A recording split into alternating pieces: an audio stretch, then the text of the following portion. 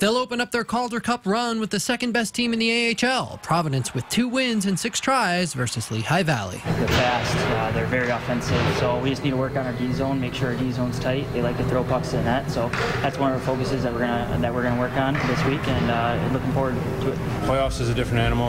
Um, it'll be tight checking. It'll be uh, you know our job to kind of limit their high-powered offense, and uh, we're looking forward to it. Winning the first two games here at the Dunk is especially important for Providence because the Phantoms sport the best home record in the AHL and have won seven straight games at the PPL Center. The two or three games we've been there, I think we only got two goals, and it was in the last minute of the game. So uh, I think that's something that we're going to focus on. You know, uh, getting a good start here, and hopefully getting out one one zero, then two zero. But uh, you know, everything we'll see what happens, and we're just going to move forward with it. It's great for us because we're young, and it, it's nice to start at home because we can get our feet wet at home as opposed to on the road. That being said, we're going to have to win one in, in Lehigh. Uh, you know, they've, they've earned the right to have home ice advantage, so uh, we're going to have to win one there, one way or another way. At the Dunkin' Donuts Center, I'm JP Smallins, Eyewitness Sports.